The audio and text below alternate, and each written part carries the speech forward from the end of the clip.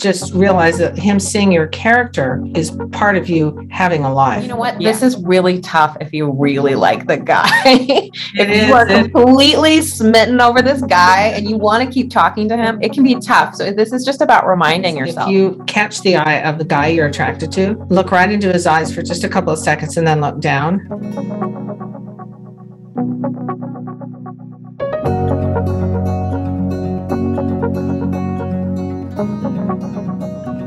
Hello, everyone. Welcome back to the Fascinating Womanhood channel. On our channel, we talk about everything that has to do with developing femininity and building strong, long lasting, loving relationships. I am Sherry Lynn, and I am here with my mom, Dixie Andelin Forsyth. Hi.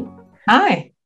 Thought it would be fun to do a couple of videos for singles. We've done a few already, but we've never done anything that has to do with a simple subject such as getting him to notice you. So, why are we talking about this today? We've had so many requests for it, and there's so many single women. And whether you have never been married or have been married more than once, if you're single, this is a subject that's going to interest you. All of us can get the attention of, of guys we don't aren't interested in. It, I, for some reason, those guys seem to be bold. I don't think it's ever changed over the generations, but the guys that you might want, do you ever feel like, how do I get him to notice me? So we're going to jump right into all of the things you can do to get him to notice you. So the first one is probably the most obvious one, but we'll go ahead and go over it because we do need to include it. Dress to impress.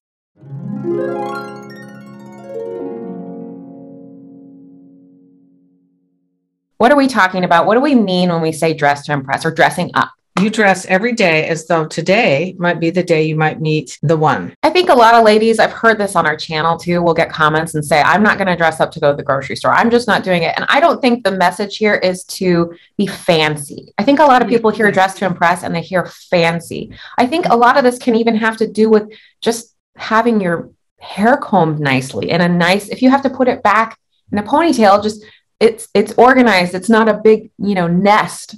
I've seen so many women today that maybe go to the store in their somewhat kind of lounge clothes plus on top of that their hair's like kind of looks like it hasn't been brushed and there's no makeup whatsoever and you just you look you look disheveled. You don't look polished and you can look dressed up without wearing something fancy. If you just pay attention to some of those smaller things. There's so many cute clothes now. There's cute jeans, uh, cute casual clothes. I've never seen as many attractive clothes as there yeah. are now, and you can put them to, and they're comfortable. So yeah, dressing up doesn't doesn't no. always mean uncomfortable. I think there's no, a no.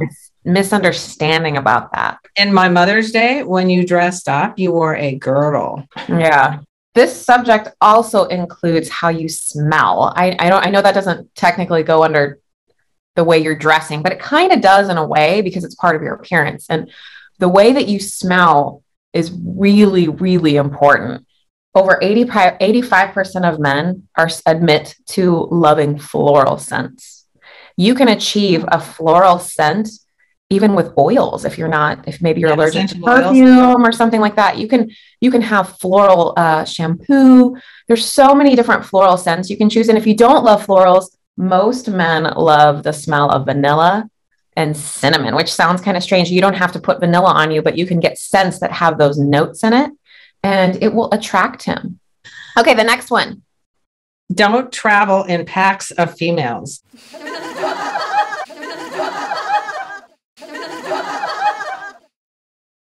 it, there's nothing wrong with having lots of female friends, but when you're at a party or somewhere where you might meet men, men are going to be more intimidated to go up to a woman who's around in a bunch of women or even men to single her out. And so at times, if you're, especially if you're attracted to someone, you're trying to get someone's attention, move around the room if you're in a social situation and don't just always be with a group so that they'd have to come in and single you out. We did a poll on our Instagram because we wanted to see, yeah. we were just curious how many of our ladies that follow us met their husbands while they were either by themselves or maybe with one friend, and, or if they met their husbands when they were with a bunch of friends. And it's still not over yet, but the last I checked, it was over 70% of our ladies said that they met their husbands when they were alone or with maybe one friend. I think that that's me. interesting. Including me. I met including my husband me. when I was with one friend. I had one friend with me. And I think that says a lot about this point that they might be intimidated by a large pack of ladies, especially. I like the word, I like the word pack. I would be, I think about it from my perspective. I might be a little intimidated by a large pack of men. I probably wouldn't would, approach yeah. a man that I thought was attractive if he was with a bunch of guys. I'd probably be like, Ooh. Well, you'd feel like you were interrupting. yeah, I think that's a good one. And it's not one that you constantly are aware of or thinking about. Yeah. Number three, Wear something unusual.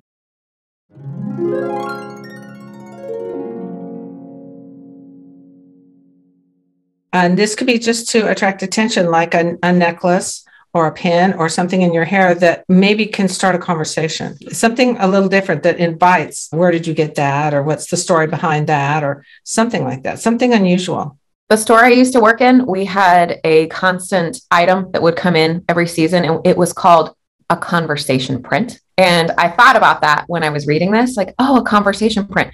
One of my favorite ones that we had was this cute little blouse, and it had telephones all over it, little vintage telephones. And I remember one of the staff staff wore it a lot on the floor, on the sales floor. And people would constantly comment on, oh, I love those little phones on your shirt. And the reason why it's called a conversation print is that it's just that. It, it causes people to come up and comment on your print. So when we say wear something unusual, it could be so many different things. I've I have a friend that has a really feminine style, but her cell phone case is her favorite football team. And her cell phone case can be a conversation starter with Right. them. Uh, the next one.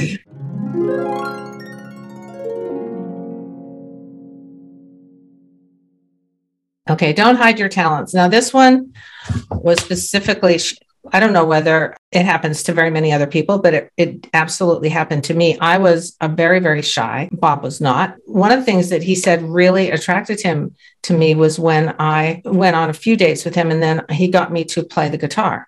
I played the Ah. guitar. And he said, when I started playing the guitar, the real me came out. Mm. I was more me because I was more relaxed. So, not hiding your talents can be many talents. It can be art, it can be something in your work, it could be anything, but don't, um, that's different than bragging about your talents. But if let him see some of your talents Yes. and it can help you relax and be more you around him. but this could be even just one one dish that you can make what if you are really good at making a certain cookie and you bring it to a, a social event there's so many different things that you could do Well, the problem is, is that people traditionally think of talents as in certain categories. yeah like art, music, acting. There are talents in everything, including, like you said, cooking. I had a friend once who said she had no talents. And then after I got to know her better, she had so many talents. She had talents with people. She was fantastic with people. She was good at, at uh, flower decorating. She didn't consider that a talent, yeah but uh, you have talents. Everyone has talents. yes for sure Uh, the next one is let go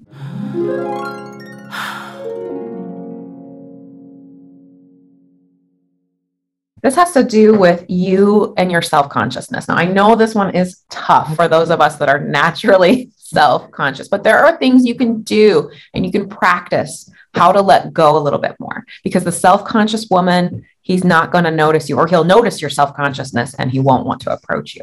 That's that's a little tougher. That's going to take some practice for some of us. And the best way to do that, from my experience, is to be doing something you're comfortable with. So like if you are, say, dancing and you and you're a particularly good dancer or something like that, so something that makes you more comfortable. Uh, you can practice doing this too. Something that I personally do because I have struggled with this. Obviously, I've been married a long time, but when I dated, I was very self conscious and I was nervous because I didn't have a lot of experience with men. And one thing that helps me is to do something before I'm going to go somewhere that relaxes me. So it's going to be different for everyone. For me, I like to go on a run before I knew I was going to be around a bunch of boys. that that like say that evening, I'm going to be around a bunch of guys. I would go on a nice long run before it helped me relax. Some women love yoga. Some women just maybe even just taking a walk. Just do something beforehand if you if you can that relaxes you and brings down all that nervousness. The next one is eye contact.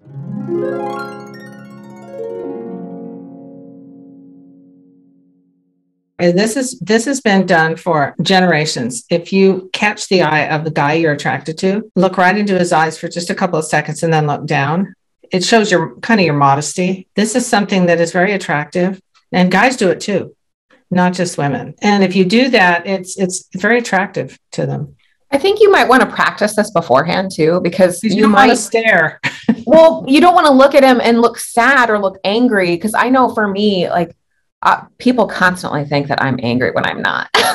or people constantly think I'm I'm sad when I'm not. It's just some of my facial expressions sometimes look a certain way. So I think you it's really important to practice this because if you look at him and you look sad or you look stressed and then you look down, he's going to think what's wrong. So perhaps this eye contact thing comes with a like a pleasant little smile. well, you can look in the mirror. You can practice those things in the mirror. You think, oh my gosh, do I look like that when I or record yourself? You can record yourself. Yeah. Okay. okay, the next one is being busy.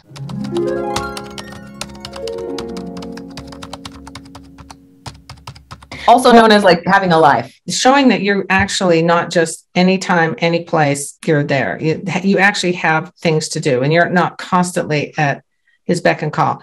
I have to say, when I met Bob, we were in college. So, you know, busyness was relative, but I didn't have a job. I was going full time to school, and so was he. But we had classes and things we had to go to just showing that you're you have a life outside of him you're not just waiting and with like oh finally somebody asked me out i just want to say my one thing that i did when i dated is i never accepted a date within the first day that i was asked i think that's a part of having a life meaning you want to go out tonight i would have to check and see if what day is available for me. I always did that when I dated because I didn't want to appear that I was always free. Does that make sense? It does, but even then you've got to be sensitive because like in my case, Bob his standard was if you turned him down once, he never asked you out again.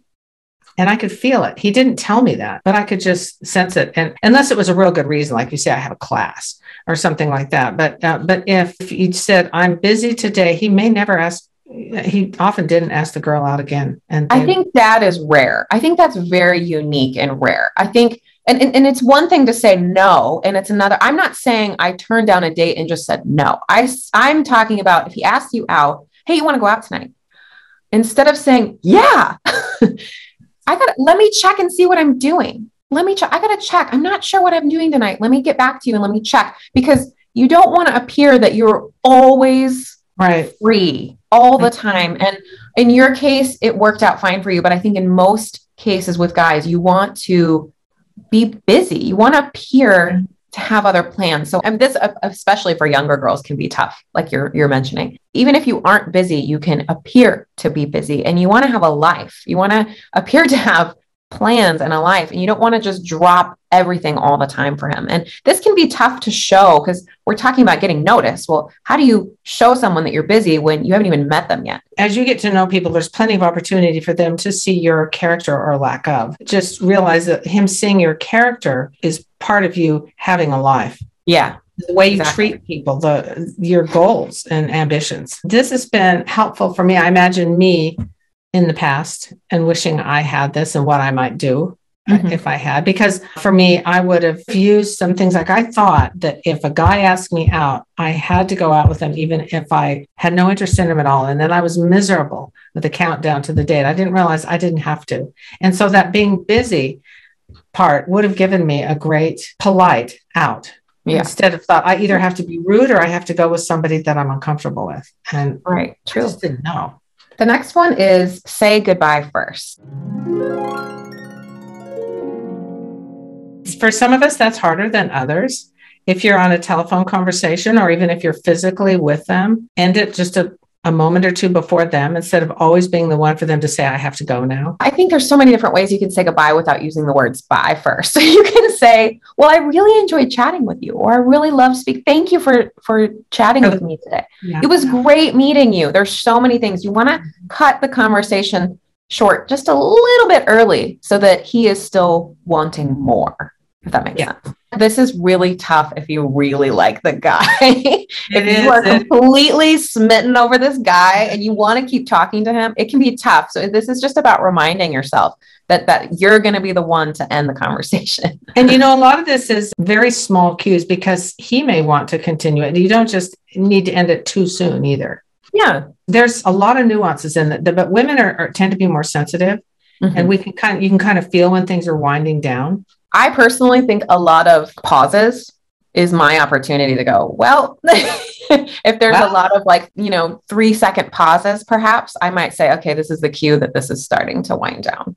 Part of getting him to notice you, one of the points that we wanted to mention is about those listening skills.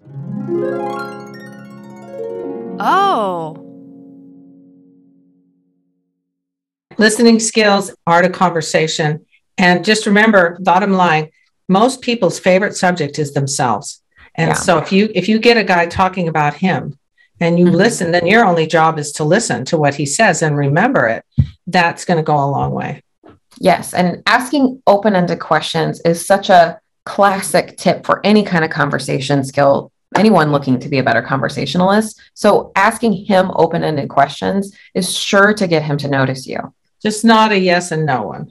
Something that you can do if this is hard for you is plan ahead of time before you go into a social setting topics that you want to discuss or things that you might want to bring up. Easy things that you could ask any guy. Have those things ready so that you're not kind of in that situation and caught and you're not sure what to do. No, in, in my book, we talk about subjects to avoid unless you know him well, like uh, Yeah. religion, polit- politics, especially nowadays. And uh, there's a lot of things. So, Yeah. Another part that goes with that, with this conversation skills, is how you speak about others. Speaking kindly about other people is really important, or just not saying anything negative about other people. Yeah.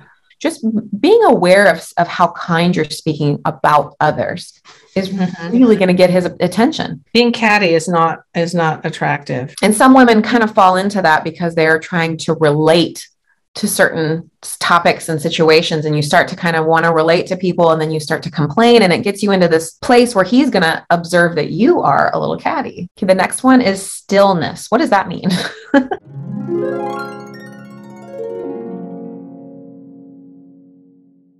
Some of us don't have this problem, but if you're fidgeting, uh, constantly picking at things and fidgeting is uh, is not as attractive. It's kind of high anxiety, and it may be hard if you're nervous and shy. It may be a little hard, but it, you don't have to be perfect because no one is. But this is just this is just going in, in the right direction.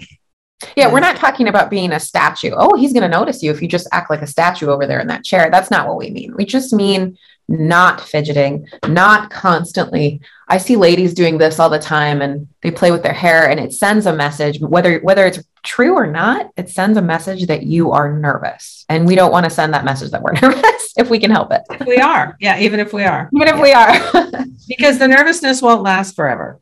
And Yeah, yeah. And honestly, I've even read body language experts saying that grabbing certain things and fidgeting them is a sign of insecurity. It's a nonverbal cue. So just being aware of that, like you said, we can't be perfect, especially if we really are nervous, but just being aware of that might help you to be a little bit less jittery. yeah, exactly. The next one is femininity.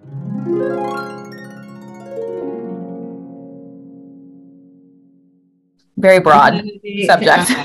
now we do we've done whole videos on this there's sections of my book and that's the way you move the way you talk the way you walk all of it and what you're wearing everything the idea is you're not you're not wanting to be like him you're wanting to Yeah. be the complementary opposite Stay true to you and be a woman.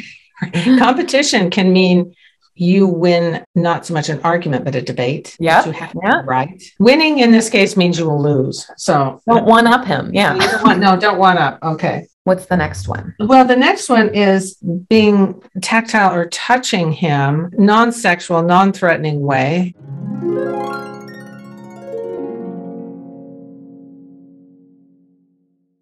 I had a friend who was so naturally good at this. And she did this with men and women. Every time you talked to her, as she talked, she would kind of touch you on the arm and to make a point. She didn't do some big thing. It was just like on the shoulder. She'd say, and wasn't that great? And she did this and, and doing it lightly, not certain parts of his body obviously are off limits, but the forearm or the shoulder, just a light touch as you're speaking here and there, not constant. This is a delicate subject and you have to be careful. You if you know anybody that does this well, hopefully you know what we mean. I think that this is all about warmth and Right. creating um, some type of warmth with your touch, meaning you're approachable, you are friendly, and you're not being creepy and touching everyone, but you are showing warmth with the right moment. And like you said, I think all of these areas are good the shoulder, the elbow, the hand, maybe even the upper back. Those are all great areas for you to reinforce perhaps just one little touch with him. It's Um, brief. if- it's very brief. just a touch like Yes, that. and don't it's don't just- rest. Mhm. The intent is warmth. and affection. Okay, the next one is admiring him.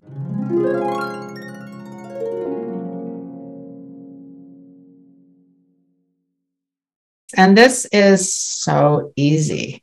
There's so many things to admire. And masculine traits are anything to do with his courage, his tenacity, his strength, anything like that. You can also compliment him on how he his appearance. That's an easy one to get a man to notice you, especially if they're a stranger. It's hard to admire his courage when he might be a stranger. So if you wanted to say, I love your haircut or um, I love the the pairing that you have on. Like with dad, that's easy. He's always got a nice suit on, and I can always compliment his tie and his shirt combination. Cologne.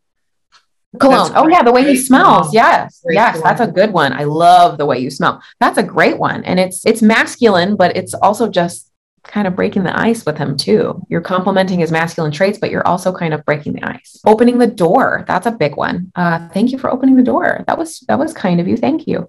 Uh, there's so many things you can do to n- admire him. You have to say yeah. it. Or you can say, I heard this wonderful thing about you. Ah, that's a good one. Yeah. Uh, hopefully, this isn't someone you uh, just saw that you have no idea whether he's a predator. You've right. maybe, uh, observed him at a party or something. He's obviously there. Um, things that you have observed about him or heard about him that are good from other people. If you if you're talking to him for a few minutes and you learn about his career, that's something that a lot of people start with when you first are introduced.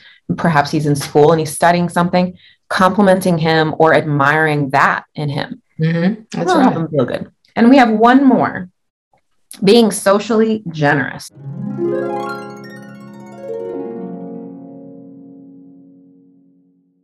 What does that mean? That means laughing at people's jokes, even if they're only semi funny. And uh, that doesn't mean they're really dirty jokes, but we're talking about humor here, mm-hmm. generous to all people, not just him. So, and he will see this in you that mm-hmm. you care about other people, that you are concerned about their comfort and they're having a good time too you'll see it. Yeah, I like the wording of this being socially generous because it it's just having it's looking at people with the best intentions. And it doesn't mean that you need to be weak. I think a lot of women might hear this and go, "Well, I'm that's not my personality" or something like that, but it doesn't mean that you can't be kind and see the best in people. If some people say it's not my personality to be kind, that's a part of us that needs that can be a little bit more fluid. In other words, our character, my character, your character is always should be fluid enough that we're improving ourselves and we're not just I'm not a very nice person end of subject. You you can improve and you don't have to be like that. That is Well, some hard. some ladies are very comfortable being in a living in a life where they are sarcastic, they i've heard this so much. I'm just realistic. No. some women you know what i mean? They kind of live in the social setting of i'm always sarcastic. I always like to crack these kinds of jokes and that's just who i am. But just be aware that if you're out there looking for a man and that's your personality it can come across to him that you are bitter, resentful, all these negative things that might not be the real you all the way. And what might he might think, what might be she, she saying about me to others when I'm gone? None of us need that. And it doesn't make us happy either. That was kind of a lot of things. Uh, but, but you know what? I wish I'd had this when I was meeting Bob because it would, yeah. some of them particularly would have helped me. And uh, I think some of these you might naturally already do and these might be easy, like the smiling or the eye contact. And then others you may not even be aware of, and that's great. Then you can work on them. I I wish that I had had this when I was dating.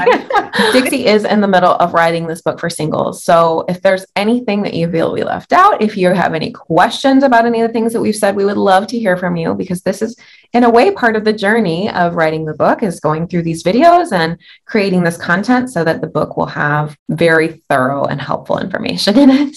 And we have done uh, questionnaires before on our site saying, what would you like me to include subjects in the book? And I just want you to know I have listed all those things. They're in my outline. So if there's any more, I'll be happy to take a look at those as well. Yeah, and we are here every week. So if you are new to our channel, check back with us next time. Please hit subscribe and like. It helps our channel grow if you can, and you will also get notified when we have a new video if you subscribe to our channel. We are also very active on social media, so you'll have to check out all of the links attached to this video to connect with us in other social media forums. And last but not least, Dixie's books are all attached to this video, including the workbook that we've discussed today. That will be attached in the video notes so that you can go take a look at that and read her book, Fascinating Woman in And, re- Time. and remember, this isn't just that. This first book is not just to married women. It has a, a chapter for single women, and most of the chapters, like character and things like that, are for both single or married. All right, so that's it for today. We will see you next time. Bye. Bye.